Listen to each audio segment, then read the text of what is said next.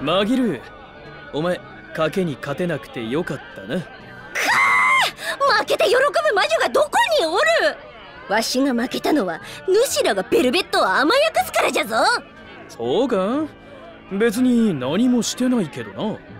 俺たちはな。何もせんのも優しさなんじゃゆう。せっかく開いたベルベットの傷口に塩やら砂糖やらすり込まぬとは。甘すぎるわ賭けの損失は主らに払ってもらうからの。なら俺たちを混ぜて賭けの続きをしてみるか？ほう面白いな。俺はベルベットが折れる方に1万ガルド。ほうほう。俺も折れる方に1万ガルド。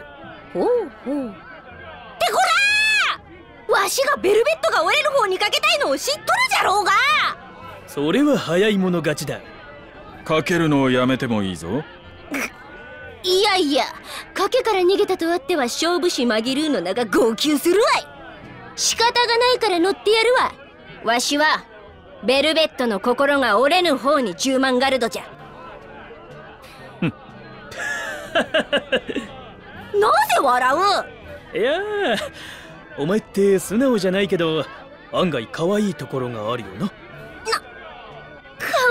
いいじゃと？魔女に対して何葉を不名誉毀損じゃ。主らがかけた2万ガルドは賠償として